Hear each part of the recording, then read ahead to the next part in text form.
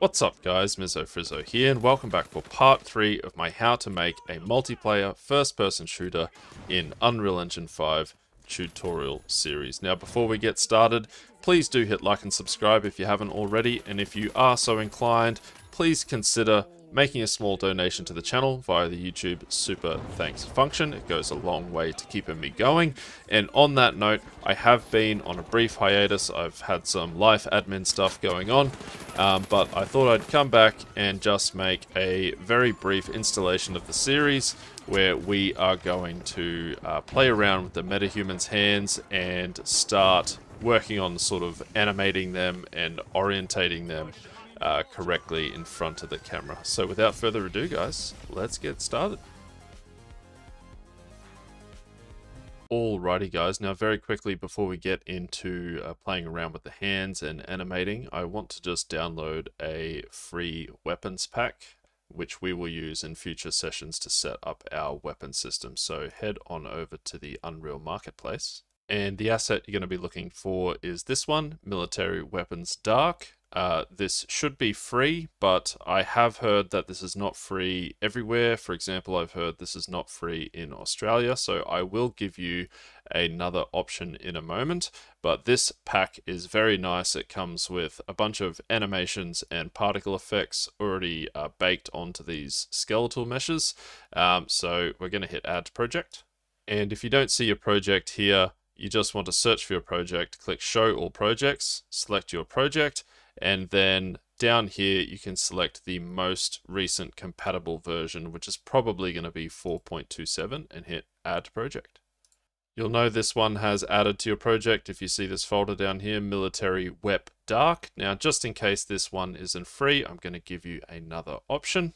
And that alternative option is this one here, FPS Weapon Bundle. This one does come with some very nice skeletal meshes, but it does not come with animations or particle effects. So any parts of this tutorial series where we are setting up the animations and the particle effects.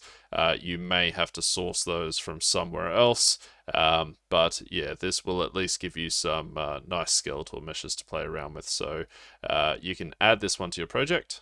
And once again, if your project doesn't come up here, you can search for your project, click Show All Projects, select your project, which uh, I think is going to be this one, and select the most recent compatible version, which again is probably going to be 4.27, and hit Add Project. And you'll know this one has added to your project if you see this FPS Weapon Bundle folder down here. Now, we're not going to be messing around with those weapon packs too much today. Um, but we may just replace the uh, FP weapon here with one of those weapons. Um, but first, let's uh, get our metahuman arms set up for animating. So I'm just going to use uh, this corner over here. I'm just going to delete these cubes and I'm just going to use this corner over here as my kind of little animation studio. What I'm going to want to do is go into my metahumans folder and tray and here you'll find a folder called either male or female. And if you go into there, male, tall, normal weight, body, you'll find these uh, edited uh, body meshes that we created and the original one, which is going to be for me, M tall, normal weight, body.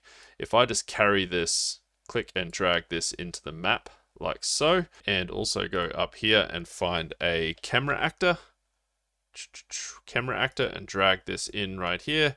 It doesn't really matter too much where you place this because we will be parenting the arms to the camera as they are set up in the character's blueprint. Um, but I'm just going to put this right here like so. And then I'm going to click on these arms and I'm going to click and drag them over here in the outliner onto the camera actor and parent them to the camera actor.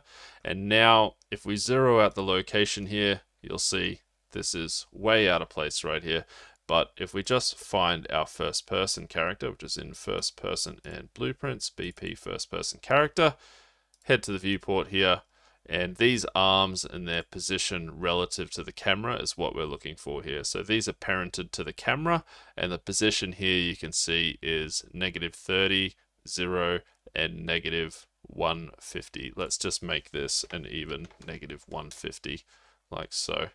Um, Now we might we might change this later on. They are quite far back, um, but for now we're just going to copy this location right here and um, onto onto our one in the world outliner here. So select your mtol normal weight body and change the location to negative 30 and negative 150 here.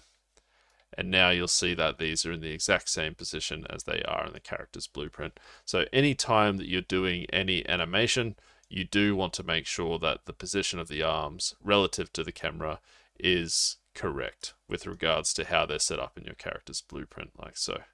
And now what we can do is click up here and add level sequence and uh, let's let's make a folder for these to go into first. So in content, I'm going to right click and create a new folder and call it underscore main.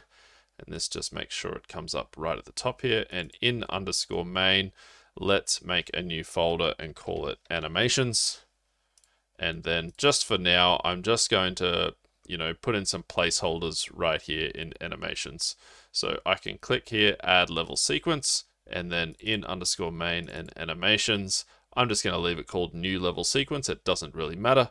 I'm going to save that and then I'm going to get my skeletal mesh right here and drag it into the sequencer like so.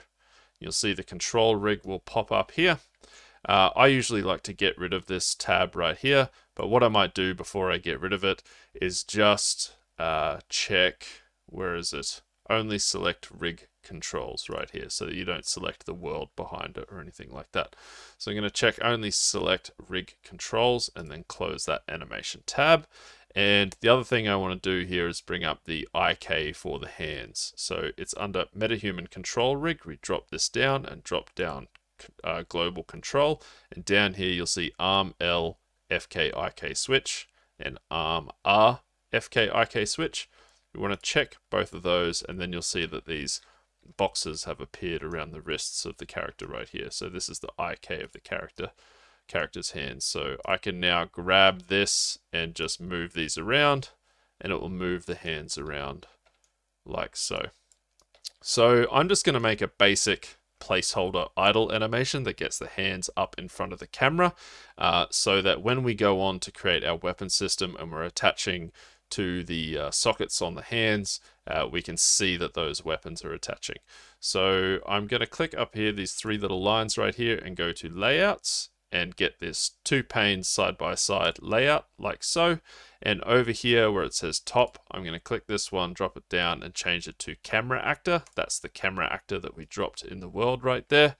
And also if it says real time off up here, you want to make sure you click that, change it to real time on. And now if I move those hands in front of the camera, you will see them appear in front of the camera like so. So the arms are indeed really quite far back. Uh, we might change that later on, but for now it really doesn't matter. We are just getting the hands up in front of the camera like so. So the main reason why we might want to move them forward is so that, uh, you know, if we want to have this hand extending further out than like here, uh, we'd be able to do that. You can see it's kind of locking the elbow there as well, and, and it really can't move any, any further forward than that. But for now, this is going to be absolutely fine. So we're just going to grab the hands and move them out in front of the camera like so. And I'm going to align them so that the wrists aren't super kinked. Uh, so this is something that you'll want to pay attention to going forward when creating your own animations, is uh, not to deform the mesh too much uh, wherever you position the hands or the arms. So I'm just going to place them in front of the camera like that, and then I'm going to scroll up in the sequencer here and click this little plus icon on the control rig here, and this will add a keyframe for all of the components of the control rig like so. I am also going to check this uh, automatic keyframing right here. So click this little key right here. And now whenever you move anything on the control rig, it will set a keyframe for whatever time is selected right here on the sequencer. I'm also going to change this to 60 frames per second and I'm going to make this particular animation 240 frames long. So it's going to be four seconds long. You can move this bar down here to view different scales on the sequencer timeline like so.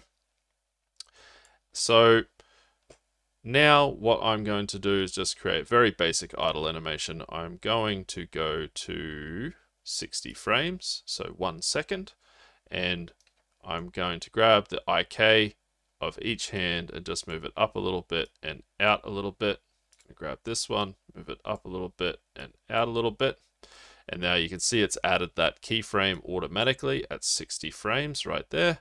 So that allows you to very quickly pick out where the IK for the left hand and the right hand are. They're right here and I'm going to click on these initial frames right here. So the one for the left hand right here, click on that one and then control click the other one to select both of them. Control C to copy, go to 120 frames and control V to paste. And now we've got the hands moving up and out and then back to their original position. And then what I can do is select all four of those keyframes, control C to copy, go to 180 frames like so, control V to paste and now I've got this really basic idle animation like so.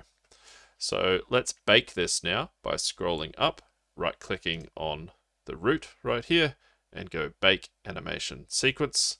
And then right here in our main and animations folder, um, let's just call this idle sequence.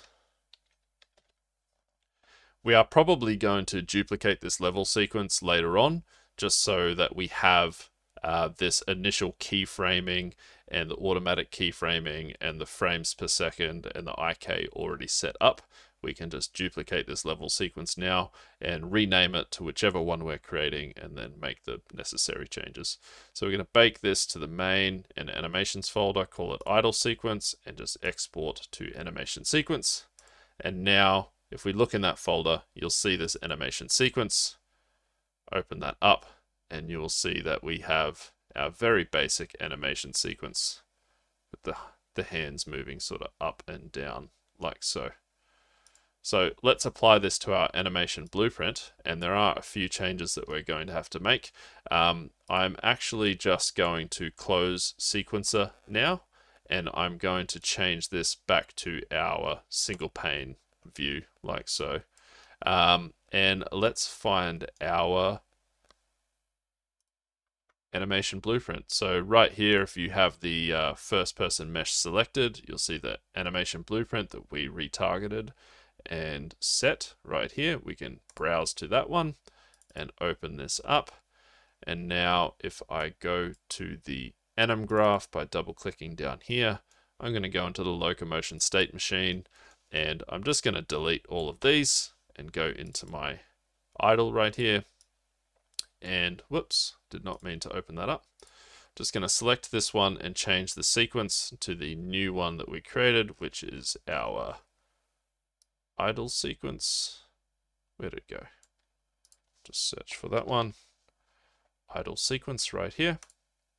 And make sure that you check loop animation, like so compile that, and you'll see that he has just turned 90 degrees. And um, this is the problem with the uh, first person animations from the first person project. They are rotated 90 degrees. So you'll see now that he's facing the wrong way. So what we can do is just select the first person mesh there. And we're just going to change the third argument on the rotation here to negative 90. And he'll be facing the same way as the camera now. Okie doke. So if we go back into our animation blueprint, I'm also going to change this on the armed. Uh, so I'm going to make a few changes here just to basically um, get rid of any uh, sort of chopping and moving of those arms when we pick up the rifle or we fire or anything like that. So I'm going to back out to the state machine here, back out to the anim graph and go into the locomotion rifle state machine. And I'm going to do the same thing here. I'm just going to delete all of these go into here and change this one to our idle sequence. make sure that loop animation is checked. And one more thing I might do in the anim graph here is delete this, uh, delete this slot and just add a default slot, slot default slot. And this is for our animation montages. Alrighty, if we hit compile and save now and hit play, uh, you'll see we've got our hands up in front of us like so. Very good, but you might notice this texture streaming pool over X megabytes budget. Uh, we are gonna fix that right now by going down to the console command right here and find r streaming r dot streaming dot pool size and then you hit a space and whatever number here, I usually just punch in 15,000 and now um, any textures on these hands will, will load properly because we have a big enough uh, streaming pool budget. Um, so that's attaching to the hand like so. It's obviously the position is absurd, but it doesn't really matter. Uh, while we're here, actually, we might just change the skeletal mesh on this weapon component. Um, to be, you know, one of the weapons from the asset pack that we just picked up. Let's make it the pistol. So first person blueprints, BP pickup rifle and BP weapon component. Let's open up BP weapon component and let's change the skeletal mesh asset right here. Let's change it to a pistol. So I've got this pistols B from the military weapons dark. I'm going to change it to that one. And now when we play and we pick up this rifle, it should just spawn a pistol in our hand like so. Nice. That's all I really wanted to do today, guys. If you wanted to keep yourselves busy and you wanted to start doing some uh, idle animations, some unarmed animations, you could go into the sequencer there and start um, building out the animation blueprint um, with the base locomotion states there for your unarmed states. If you want more information on how to do that in sequencer, I suggest you check out my how to create your own first person animations tutorial. Um, it's an oldie, but a goodie, and it will give you sort of more insight into what we'll be doing in Sequencer there going forward and creating our animations. So yeah, that's all I really set out to do today, guys. Thanks for watching. Um, sorry about the hiatus. I have had some life stuff going on, as I said, but I am back, and I will be back with part four very soon, before you know it, and we will add our replicated weapon system to this project. All right, thanks for watching, and I will see you on the next one.